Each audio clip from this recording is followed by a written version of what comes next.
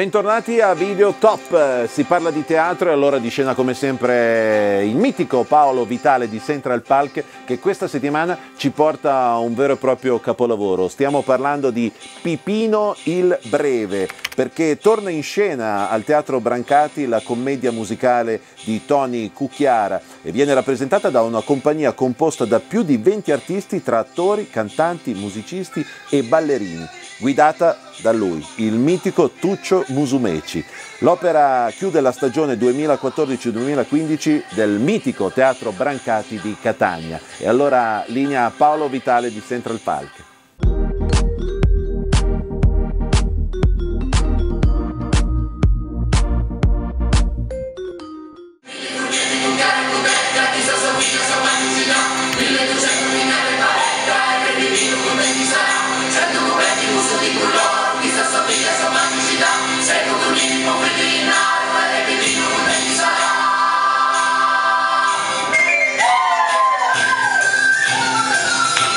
L'idea è stata di Tone, di Tone Cucchiara, perché lui rappresenta eh, Pipino il Breve come rappresentata dai pupari siciliani.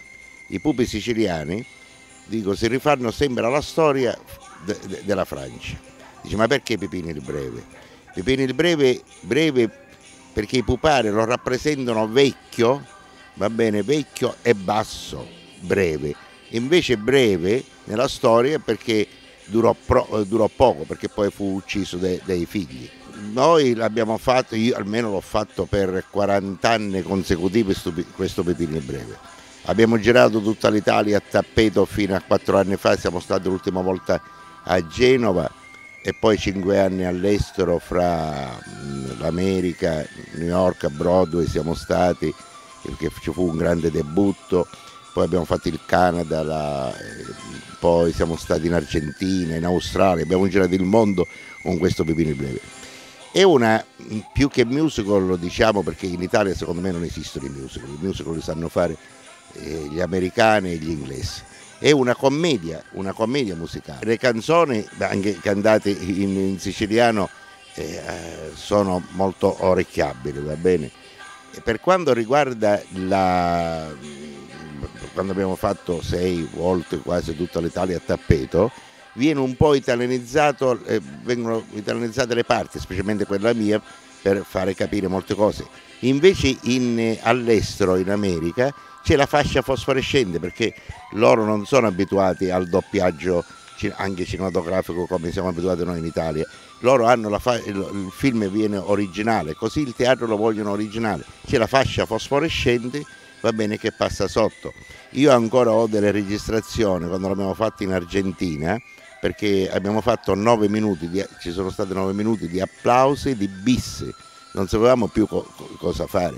In Australia poi abbiamo fatto molti posti, Brisbane, abbiamo fatto Sydney, abbiamo fatto Melbourne, siamo stati anni, cinque anni all'estero girando a destra e a sinistra con questo Pipino il Breve. Il Rugantino, eh, c'erano i grandi attori, Aldo Fabrizi, c'era Nino Manfredi, ma il Pipino fu una cosa un po' strana perché loro non la chiamavano Pipino il Breve in America, la chiamavano la commedia medievale, cioè loro l'hanno accettata perché era una fiaba, era semplice, che la potevano vedere i bambini e i grandi, perché noi quando ogni volta che viene ripreso eh, il problema è che la gente che l'ha visto 6-7 volte poi ritorna con i figli, i nipoti, con la nuova generazione per farlo, per farlo conoscere. Io mi ricordo a Venezia quando siamo stati anni fa per il Campiello, Paolo Grassi, grande direttore dello stabile del piccolo di, di Milano, veniva ogni sera ad assistere Pipino il Breve, perché addirittura d'inverno l'abbiamo fatta al piccolo e il piccolo quando Paolo Grassi gliel'hanno proposto, allora Mario Giusti che era il direttore del teatro stabile gliela propose, era scandaloso fare nel Tempio della Prosa questo diciamo musical, questa commedia mu musicale. E poi invece Paolo Grassi si era creduto e di fatti poi la portò al Cambiello a Venezia avendo un grande, un grande successo, lui veniva ogni sera a vederlo.